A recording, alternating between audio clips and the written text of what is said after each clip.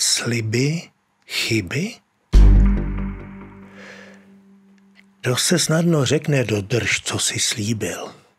Jenomže kdyby člověk věděl, co všechno se může stát mezi tím, kdy ten slib dává a kdy ho má pak plnit, tak to by si to tedy pořádně rozmyslel něco slibovat.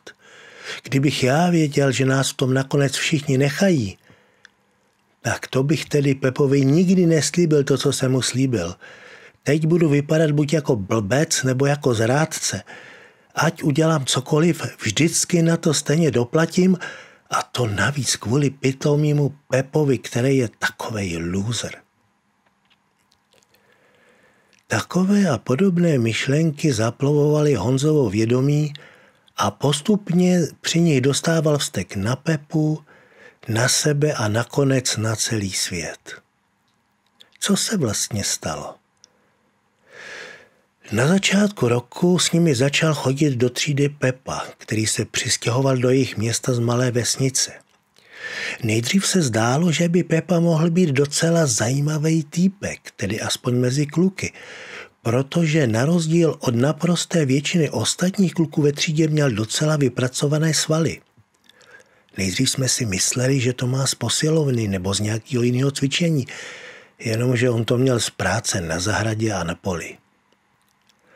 A záhy se ukázalo, že Pepa má ke skutečné star opravdu hodně daleko.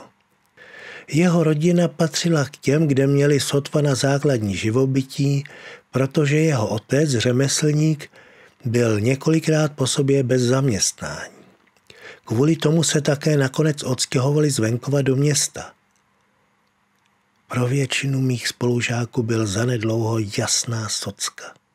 Jenomže v té době už Honzu vázal slib, který dal Pepovi hned první týden. Částečně oslněný jeho vzhledem, částečně ve snaze pomoct mu v novém prostředí. Že o podzimních prázdninách s ním a jeho starším, už 17-letým bratrem, zajedou do vesnice, kde Pepa předtím bydlel.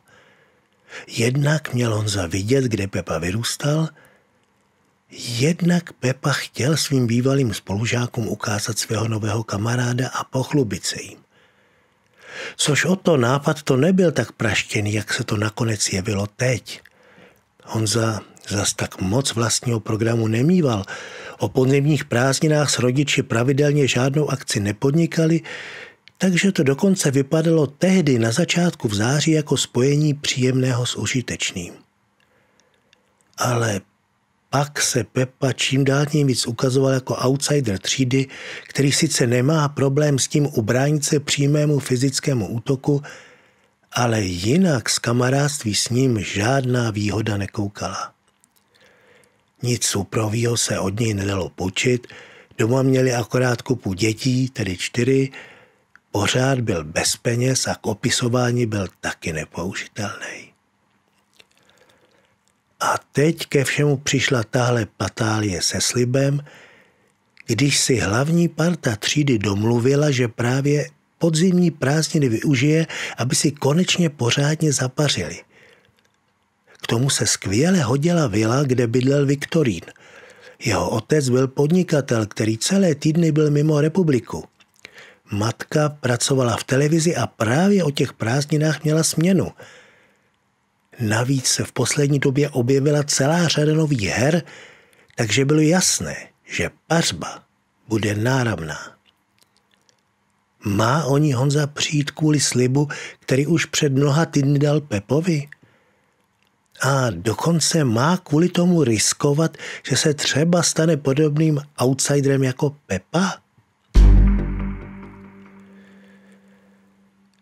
Jak se rozhodne Honza, to nevíme. Ale co byste mu poradili vy?